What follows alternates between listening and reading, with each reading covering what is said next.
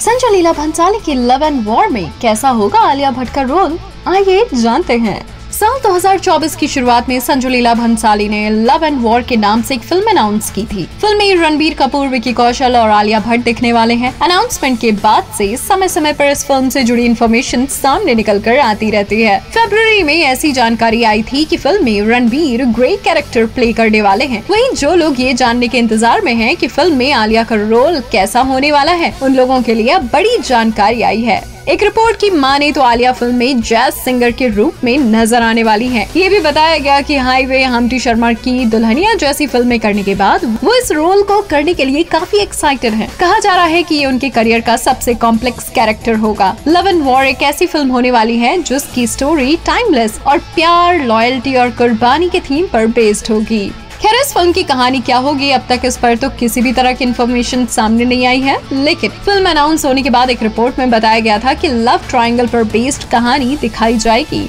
एक रिपोर्ट में ये भी बताया गया कि संजू लीला भंसाली की ये फ़िल्म साल 1964 में रिलीज़ हुई राज कपूर की पिक्चर संगम का अनऑफिशियल रीमेक होगी। भंसाली ने फ़िल्म की तैयारियाँ पहले ही शुरू कर दी हैं। नवंबर दिसंबर में प्रोडक्शन का काम भी शुरू हो जाएगा और ये फ़िल्म क्रिसमस 2025 में सिनेमा घरों में रिलीज़ होगी। बहरहाल, इन दिनों संजय लीला भंसाली अपनी पहली वेब सीरीज़ हीरा मंडी को लेकर भी चर्चा में चल रहे हैं। उनकी ये वेब सीरीज़ जल्दी ही नेटफ्लिक्स पर रिलीज़ होने वाली है। जिसमें मनीषा कोयराला अदिति राव हैदरी, सोनाक्षी सिन्हा संजीता शेख और रिचा चड्ढा नज़र आएँगे।